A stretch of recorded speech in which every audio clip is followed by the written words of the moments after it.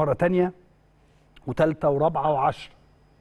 لازم نبقى عارفين إن إحنا عندنا مجلس إدارة الحقيقة بيوفر لنا لبن العصفور علشان مجلس إدارة النادي الأهلي بيوفر لنا لبن العصفور عشان نقدر آه، ننقل لحضراتكم كل هذه الأحداث على الهواء مباشرة.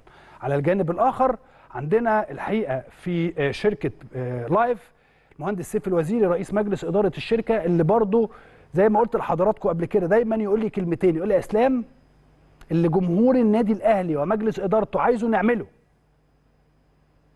فالحقيقة كل الجهود بتتضافر عشان شيء واحد فقط إسعاد جمهور النادي الأهلي.